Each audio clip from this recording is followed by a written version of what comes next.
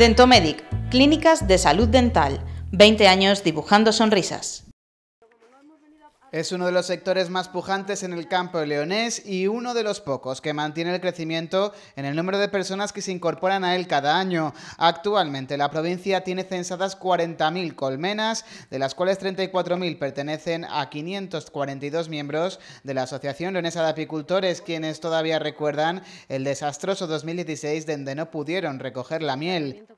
Este año empezó bastante bien, pero las bajas temperaturas de hace un mes y las lluvias excesivas han provocado que solo se llegue a los 10 kilos y con esa cantidad de miel por colmena la rentabilidad será nula esta temporada. Otro de los inconvenientes que están encontrando es la imposibilidad de expandir la actividad en la provincia de León. El 90% de los municipios cuentan con una saturación apícola que no permite colocar asentamientos de más de 50 colmenas.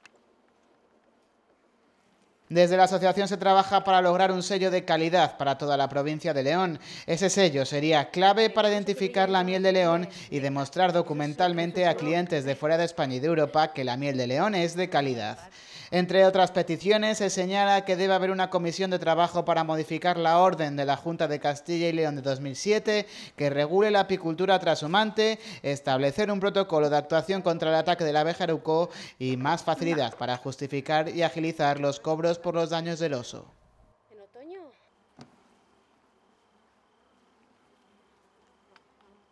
Mira, esto de aquí sí es miel.